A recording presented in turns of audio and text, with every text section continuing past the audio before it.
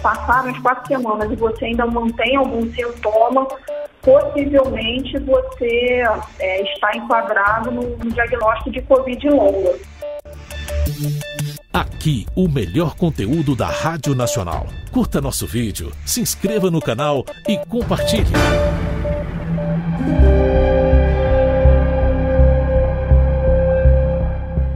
Sequelas podem surgir meses após resolvido o quadro agudo da Covid-19 e podem ser de natureza hematológica, cardiológica, neurológica, dermatológica ou psicológica. A gente conversa sobre isso com a doutora Joelma Dominato, que é cardiologista e coordenadora do Centro de Reabilitação Cardiopulmonar do Hospital de Clínicas do Ingá. Eu sou Glaucia Araújo e você confere no Sintonia Nacional, na sua Rádio Nacional.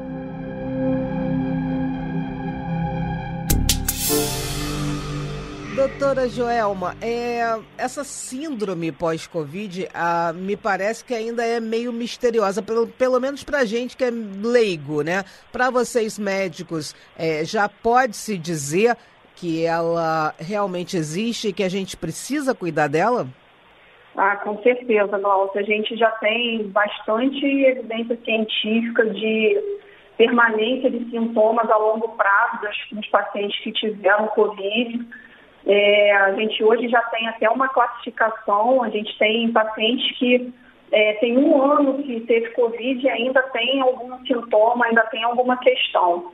Então, hoje, por definição, a gente classifica como uma Covid longa, né, que é a tradução do inglês, que é long Covid, é, aqueles pacientes que mantêm sintomas além de quatro semanas. Então, você conta o primeiro dia de sintoma da Covid, passou quatro semanas, passaram as quatro semanas e você ainda mantém algum sintoma, possivelmente você é, está enquadrado no, no, diagnóstico de Covid longa. E a síndrome pós-Covid, ela faz parte do leque é, dessa Covid longa. A gente tem basicamente uma, uma divisão de Covid em resolução, que pode durar até 10, 12 semanas, e depois aqueles que mantêm sintomas além de 12 semanas, a gente classifica como síndrome pós-Covid. E isso independe se a pessoa teve Covid leve ou se ela teve uma Covid daquelas que precisou de internação, ou só os pacientes que precisaram internar, fica, é, que tem essa Covid longa?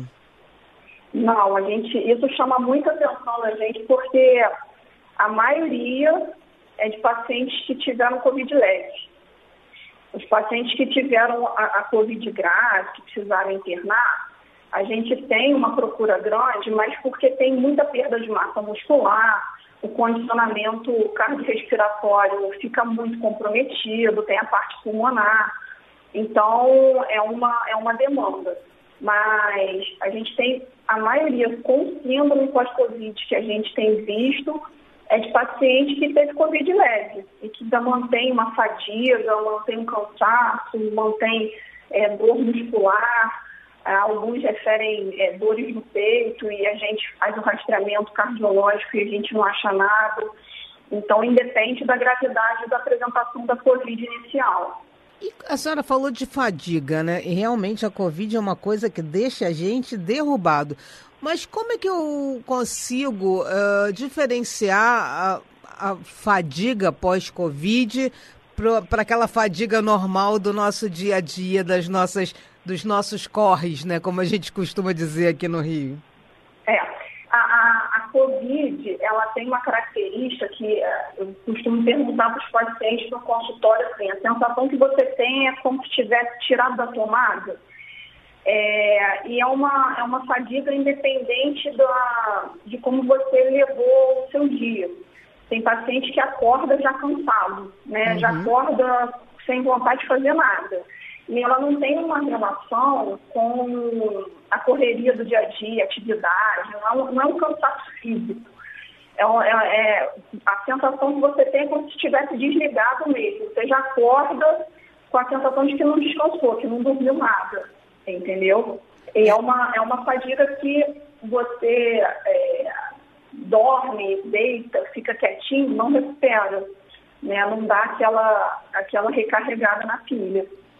Não tem aquela sensação assim, pô, descansei no final de semana, tô pronto para a semana de novo. Essa sensação não, não, existe, né? Não existe, não existe. É uma sensação permanente de cansaço.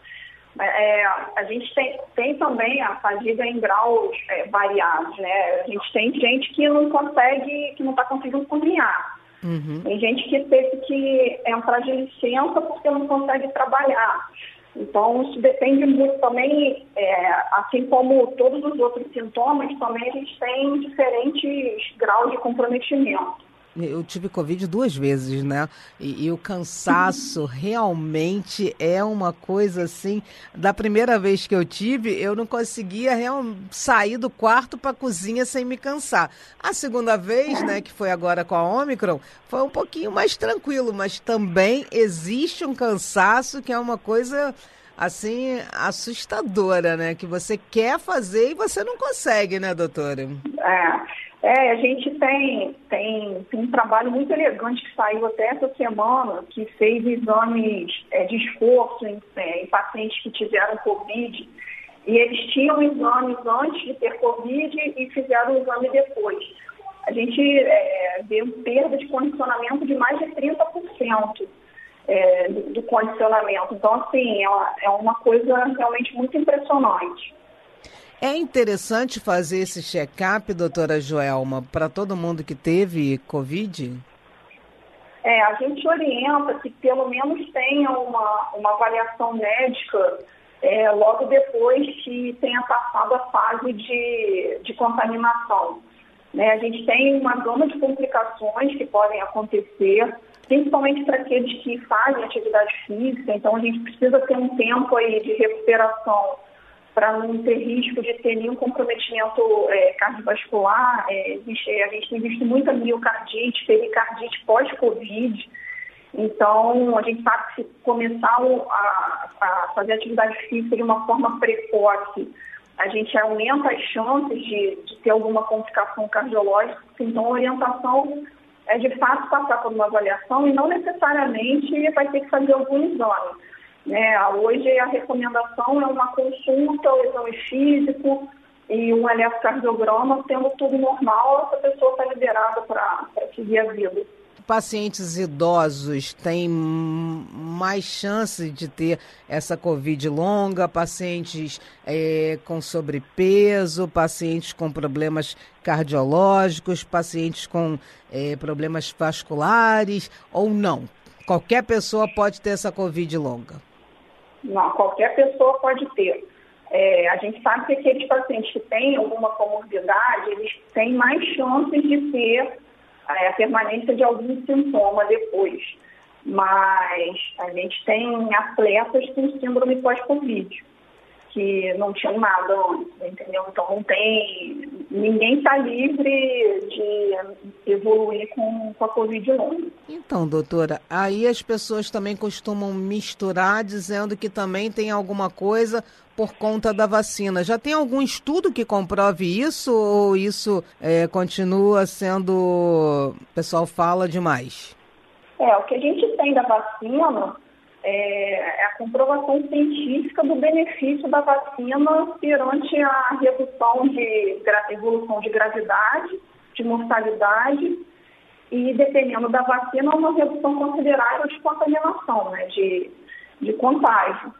É, o que a gente tem de vacina, é, falando é, de é, miocardite, é, a, a o percentual de, de chances de você ter uma miocardite perante a vacina é infinitamente menor do que você tendo qualquer infecção viral. Então, por exemplo, o trabalho maior com vacina para miocardite foram 11 casos em 8 milhões de doses aplicadas. Então, isso é uhum. muito pouco. E são casos com evolução benigna, que não tiveram maiores complicações, não precisaram de internação, não ficaram com sequelas. É, então a gente tem que ter muito cuidado quando a gente fala, bota as coisas na conta da vacina, porque o que a gente vê hoje na prática é que de fato a gente teve, por exemplo, a Omicron, é, a gente tirou de letra a Omicron, né? É, a Omicron foi catastrófica em vários países e a gente, por ter uma vacinação já mais avançada